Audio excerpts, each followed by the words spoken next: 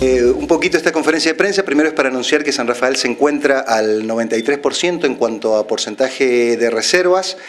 La verdad que estos números hacen vislumbrar que vamos a tener un fin de semana de Semana Santa eh, muy, muy bueno para San Rafael. Ya desde la Dirección de Turismo se están tomando distintas medidas, este, venimos trabajando fuertemente con el sector para poder saber la disponibilidad que va a contar San Rafael para estas fechas, ya que están demandando muchísimo el alojamiento, estamos recibiendo constantemente solicitudes de alojamiento, bueno, lo venimos trabajando,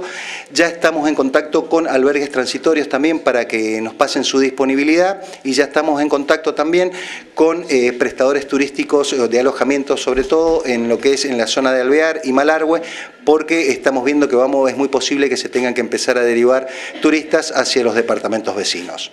Eh, dentro de las actividades que se ha tenido en cuenta, desde la Dirección de Turismo, trabajando coordinadamente con la Dirección de Cultura y con la Mesa de No Turismo de la Cámara de Comercio, se han pensado en distintas actividades para que el turista pueda realizar acá en San Rafael.